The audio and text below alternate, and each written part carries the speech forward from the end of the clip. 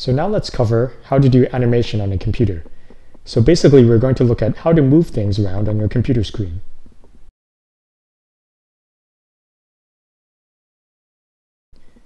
So here's a program for drawing a person on the computer screen.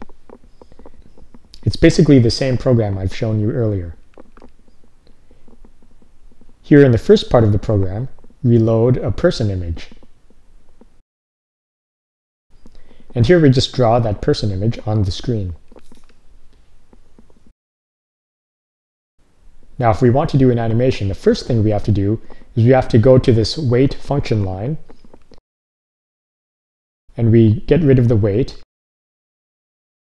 and we change it to a new command, repeat.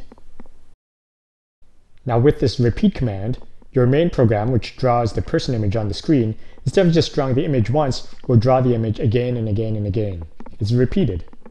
Now if you keep drawing the same person image in the same place again and again and again, the image always looks the same, so nothing changes. So that's not interesting. So in order to change things, we're going to use something called a variable. So let's take our command here for drawing the person image on the screen. We draw the person image at the position 50, comma 50.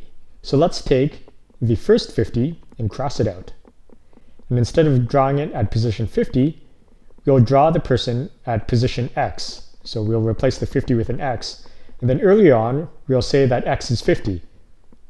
So basically, we're still saying that you should draw the person at position 50, 50 because x here is 50 and it gets replaced. Now the interesting thing happens when we start changing this x. So below here we'll add this line x equals x plus 1. What this does is when your program runs, every time your program is repeated, it'll increase x by 1. So if x is 50 at the beginning, after it runs through this command, x will be 51. And when you run the program a second time, x is 51, so 51 plus 1 is 52, so x will be 52 the next time you run the program. So what happens is, as the program is run again and again and again, x will keep increasing, and it'll draw a picture of the person at a different position each time. So the first time it'll draw the person at position 50-50, then it'll draw the person at position 51-50, then at 52-50, and again and again and again. Now this is sort of cool, but it ends up you have a lot of pictures of this person.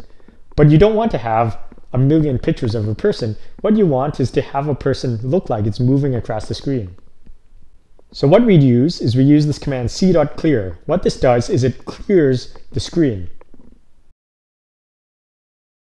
So when you run this program, the first time your program runs, it will clear the screen and draw the person at position 50-50. Next, it'll clear the screen and then draw the person again further to the right.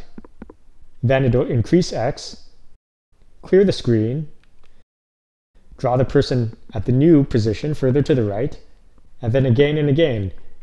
And basically, by doing this really, really quickly, it looks like that the person is sliding across the screen to the right. So here I've shown you how to write a program that moves something across the screen. So why don't you go try making your own programs for making other things move across the screen?